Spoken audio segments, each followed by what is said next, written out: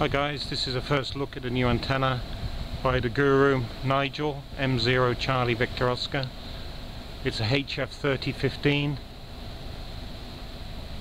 and as you see by the other cable we're running a 7 meter uh, counterpoise. Straight feed uh, 50 ohm RG58 coax.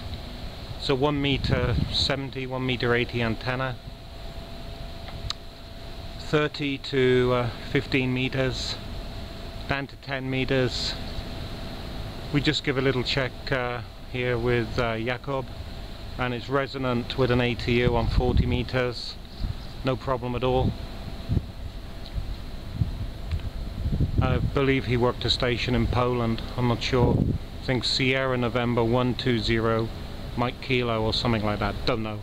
Antennas on a fence post not high at all just below the end of the house. And uh, his location due to my uh, QTH issues.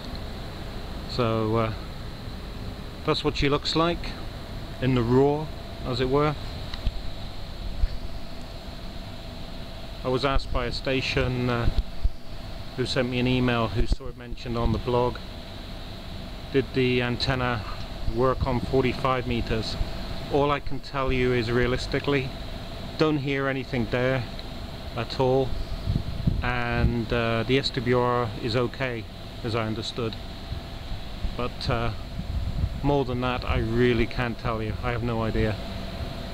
All I know is that the ATU matched it with the counterpoise not with the counterpoise and there's a relatively good noise level. So I don't know. That's the real answer so it's something you'd need to speak to uh, Nigel, not me, not my uh, kettle of fish. So that's what it looks like. As I say, just shy of 1 meter 80, straight feed, 7, me 7 meter counterpoise, running along the grass. And uh, this is the first time uh, it's been erected as we didn't have the ability of doing it so uh, just managed to get it sorted out. Check on the blog later for more news and views or check them on uh, Jakob's YouTube channel 122 he'll uh, be playing around to let you know. Catch you later. Ciao for now